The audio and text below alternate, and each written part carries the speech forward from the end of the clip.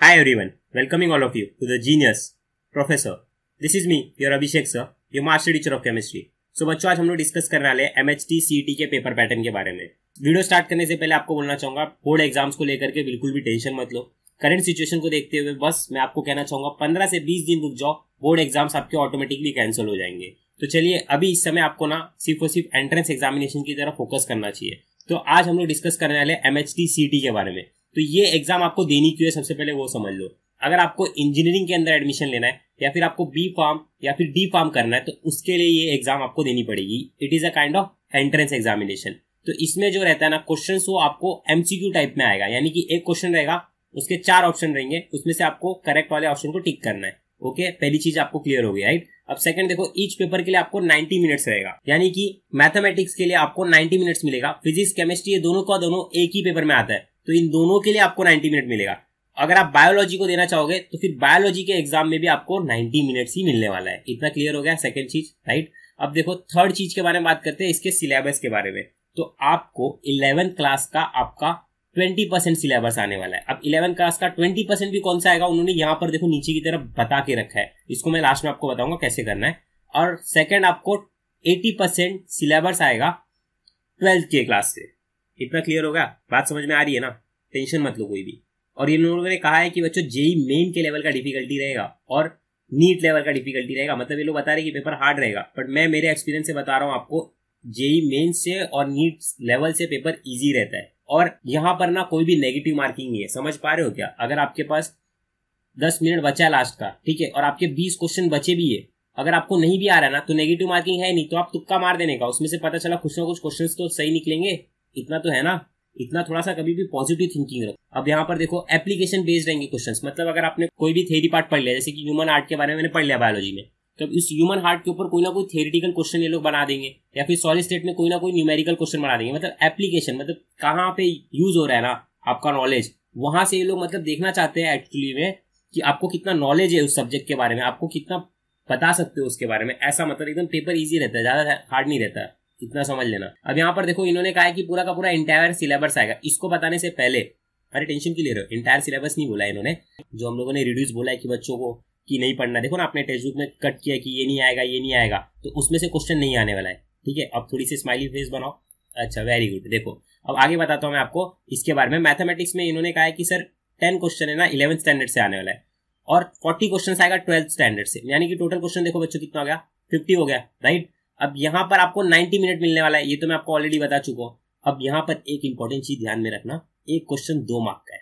समझ पा रहे हो? एक क्वेश्चन दो मार्क का मतलब बहुत ही अच्छा है। स्कोरिंग है, थोड़ा सा स्कोर हो सकता है। कम क्वेश्चन सॉल्व करना है। अगर आपने पीसीएम लिया, यानी कि फिजिक्स केमिस्ट्री मैथ्स अगर आप ये दे रहे हो। और यहाँ पर देखो फिजिक्स केमिस्ट्री यहाँ पर देखो, ध्यान से, बीच में देखो ना, ध्यान से मैं दिखाता हूँ। फिजिक्स के अंदर आपको टेन क्वेश्चन आने वाला है इलेवन स्टैंडर्ड से, और फोर्टी क्वेश्चन आएगा ट्वेल्थ स्टैंडर्ड से। तो मतलब यहाँ पे टोटल क्वेश्चन हो गया फिफ्टी और ये देखो केमिस्ट्री में टेन क्वेश्चन और ये फोर्टी यानी कि ये भी फिफ्टी तो टोटल टू हंड्रेड क्वेश्चन रहेगा। याद रहेगा? टू हंड्रेड क्वेश्चन में से आप देखते कितना स्कोर कर सकते हो। आई होप आप लोग वन नाइनटी फाइव के ऊपर ट्राई करो स्कोर करने का। इजी हो जाएगा टेंशन नहीं। यहाँ पर देखो, इतना क्लियर हो गया। पीसीएम के बारे में हम लोगों ने बात कर ली। अब हम लोग बात करते हैं पीसीबी के बारे में, यानी कि फिजिक्स केमिस्ट्री बायो के बारे में। एक चीज़ नोटिस किया आपने?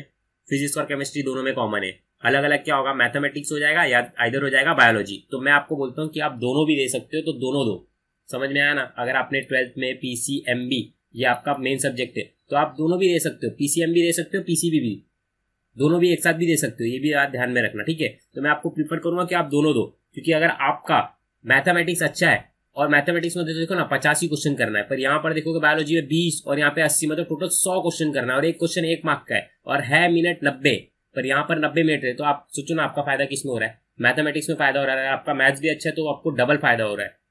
तो आप दोनों में से कोई भी दे सकते हो आई होप आपको समझा होगा बात। अब नीचे की तरफ़ चलते हैं, हम लोग इलेवंथ के सिलेबस पे आ जाते हैं। फिजिक्स में इन्होंने बोला कि मोशन इन प्लेन आएगा। लॉज ऑफ़ मोशन ग्रेविटेशन देखो इजी चैप्टर है। सेमीकंडक्टर इलेक्ट्रोस्टैटिक्स ये सब इजी इजी चैप्टर है, ठीक है? केमिस्ट्री में देखो बेसिक कॉन्सेप्ट लोग पूछेंगे स्ट्रक्चर ऑफ़ एटम किसने डिस्कवर किया? प्रोटॉन न्यूट्रॉन वही सब एकदम इजी इजी क्वेश्चन आता है। फिर इसके बाद gaseous and liquid state basic principles techniques of chemistry adsorption and colloid अच्छा चैप्टर है, इसको अच्छे से प्रैक्टिस करना, इसमें से अच्छे क्वेश्चन आते हैं। और हाइड्रोकार्बन यानी कि ऑर्गेनिक केमिस्ट्री से ये लोग थोड़े बहुत बेसिक क्वेश्चन पूछेंगे अल्केन अल्किन यही सब पूछेंगे, ठीक है? और यहाँ पर देखो उन्होंने लिखा था elements of group one and two यानी कि एस ब्लॉक के बारे में पूछ लेंगे ये लोग। कितना क्लियर हो गया? केमिस्ट्री तो ईजी है। केमिस्ट्री के लिए आप लोग मुझे फॉलो भी कर सकते हो। चैनल पे पहली बार आए तो सब्सक्राइब करो बच्चों। आप लोगों के लिए मैं मेहनत कर रहा हूँ, मैं आपको गाइड करूँगा टेंशन मत लो। बस एक बार एग्ज़ाम्स की डेट आ जाए। और फिर देखो मैथमेटिक्स के लिए आपको टिग्नोमेट्रिक करना यानी कि फॉर्मूला पढ़ लेना है। स्ट्रेट लाइन देखो, आपने नाइन्थ में पढ़ा था। सर्कल फिर उसके बाद मेजर्स ऑफ़ डिस्पर्शन ये पूरा का पूरा एक बार रीड कर लेना। और फिर देखो बायोलॉजी में देखो बायोमोलिक्यूल्स इजी चैप्टर है। फिर यहाँ पर देखो human nutrition excretion and osmoregulation last खत्म। ठीक है? अब आपको मैं कुछ बताना चाहूँगा।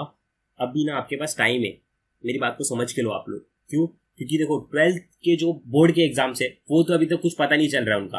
और देखो बोर्ड एग्ज़ाम्स तो कैंसिल कर देंगे तो फिर इतना कुछ ज़्यादा इफ़ेक्ट नहीं पड़ेगा। पर एंट्रेंस ये लोग लेंगे ही लेंगे, ठीक है? आपको एंट्रेंस एनी हाउ देना ही देना है।